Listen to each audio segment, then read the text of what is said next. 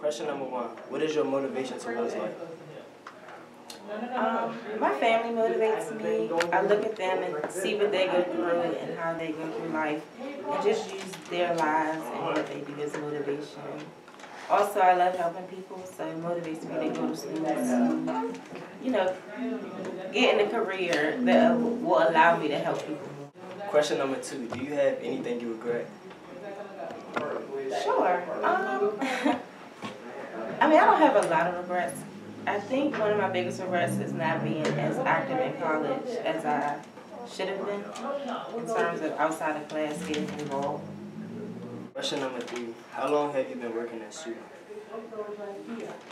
I have been working at Suitland since 2013 Question number four. How do you feel about the kids at Suitland and their behavior? And their behavior.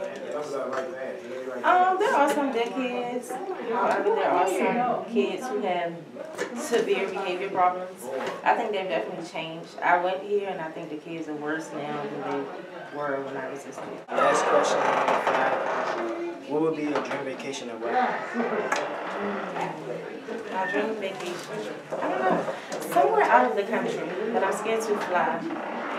I want to go to like Mexico, somewhere really pretty and like secluded, like you know the water that you can see through. Um, it's just peaceful. I just want some peace. Okay, thank you.